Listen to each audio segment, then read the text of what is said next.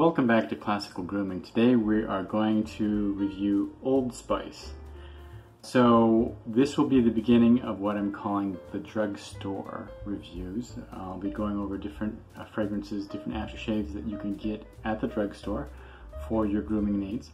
And why not start with the classic? Old Spice has been around since I believe 1932.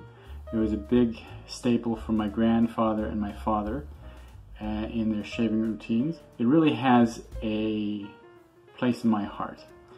So today I thought we'd go over both the aftershave and the cologne. The aftershave starts off when, when you apply it to the face with a burst of kind of a, a bay rum, uh, musk and carnation mix. It's a beautiful sensation and it really leaves the skin quite smooth and the bracing effect is really nice. So as an aftershave, what you can get at the drugstore really has a, kind of a big payoff. Now when we talk about the cologne, the cologne, it's um, it lasts for about three and a half hours.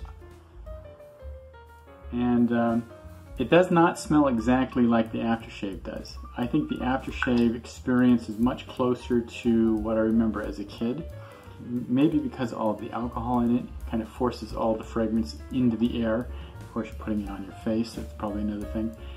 So the aftershave is much closer to what I remember Old Spice smelling like. The cologne, not so much. Um,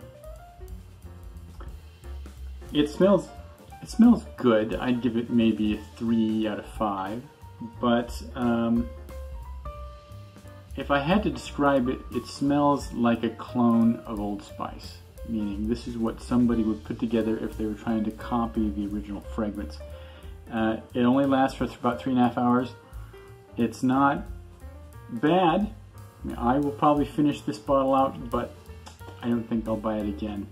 It's just uh, not what I remember, and that's kind of a shame because Old Spice has such history to it, uh, and it's I personally I don't think the clone does much respect to it. So the aftershave is a plus for me. It's good.